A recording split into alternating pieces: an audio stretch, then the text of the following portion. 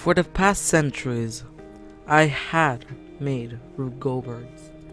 Three, in fact. The first and second was kind it was successful. But only the second one I had to do a little push. But the third one was a failure.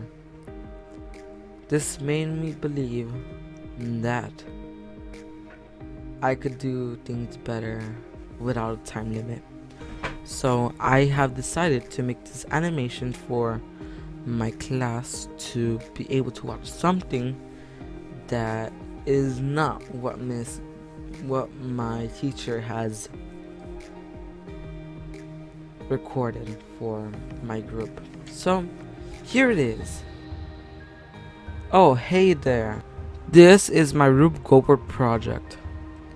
Here, I'll show you everything in store. We put the marble here to be able to trigger that lever. Then the lever will trigger the dominoes on the domino platform. Next, one or two of the dominoes will land in the pulley system and make this other part of the pulley go up. After the pulley goes up, the pulley will toss the marble to the ramp that goes to the lever section in the bottom. Afterwards, the marble will go swinging to each lever until it reaches the ramp in the bottom.